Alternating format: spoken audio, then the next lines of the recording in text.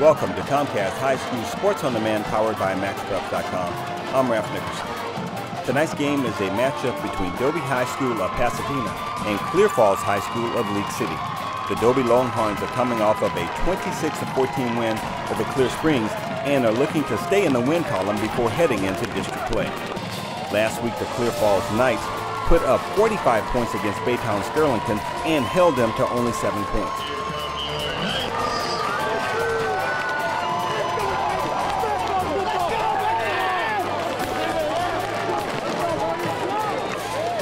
On three. One, two, three. Let's.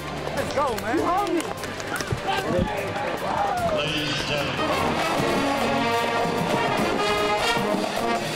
The Longhorns open the game looking like a team ready for league play. Quarterback Daryl Edwards hands off to Patrick Hurst, who moves the ball into the red zone.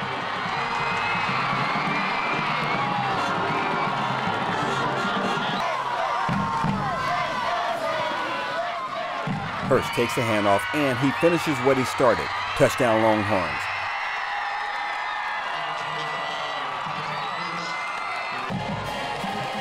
The extra point attempt is off and the score is 6 0 in the first.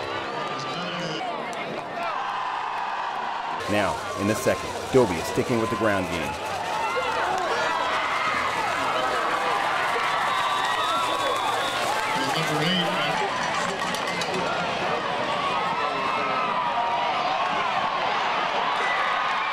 Edwards is able to move the Longhorns all the way to the five yard line. From here, it's up to Kelton Bailey. He gets the ball just across the end zone line. Touchdown Longhorns.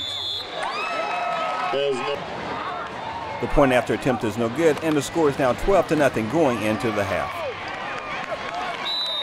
There's 25.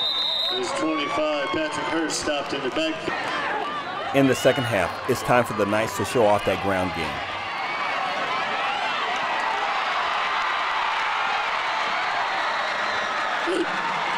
Brandon Hayward off the left side for a long game. Carlton Muscat comes in to nail a 31 yard field goal, and the Knights are on the board 12 to 3. 20. 30-yard field goal is good. In the third quarter, Dobie 12, Clear Falls 3. Last week, J.P. Lowry rushed for 190 yards. In the second half, Lowry comes out strong.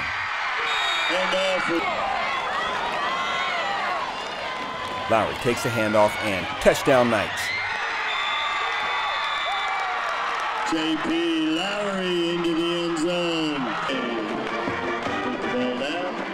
Muscat hits the extra point, and the score is now 13 to 10. Knights down by three in the third.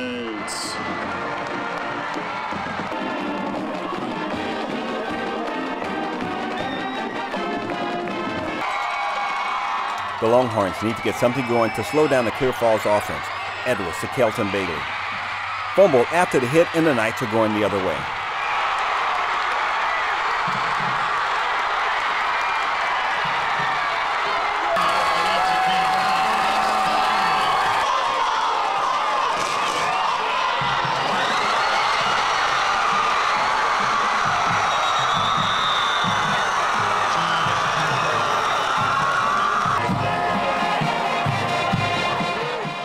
Next play, the Knights go back to Lowry.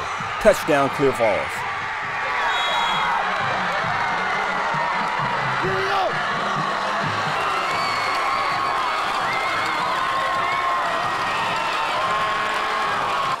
The Knights are up 16 to 12 after the failed extra point attempt. After the Longhorns go three and out, the ball goes back over to the Knights. Check out the effort from Lowry. First down, Clear Falls.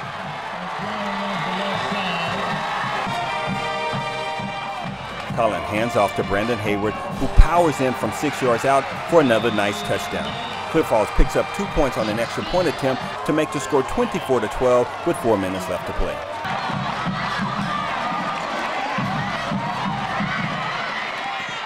Dobie still has a chance, but Edwards' pass is picked off in the end zone, and the Knights go on to win 24 to 12. I'm Ralph Nickerson, and thanks for watching Comcast High School Sports on Demand, powered by MaxPreps.com.